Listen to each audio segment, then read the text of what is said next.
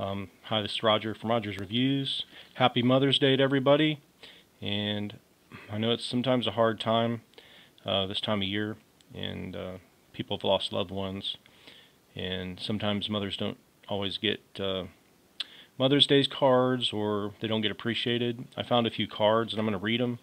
And um, if someone doesn't have a chance to give a card out, they can always send them an email or send them a video. So feel free to do so.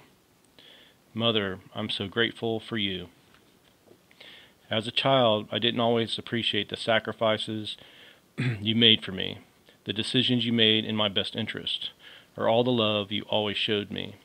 It took many years of learning and growing to see that you are exactly what I needed in a mother, then and now. Hope you have a wonderful Mother's Day. Happy Mother's Day, everybody.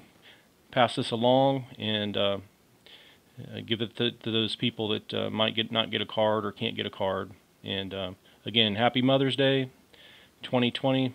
Love all you guys and uh, enjoy your day. Spend time with your mom.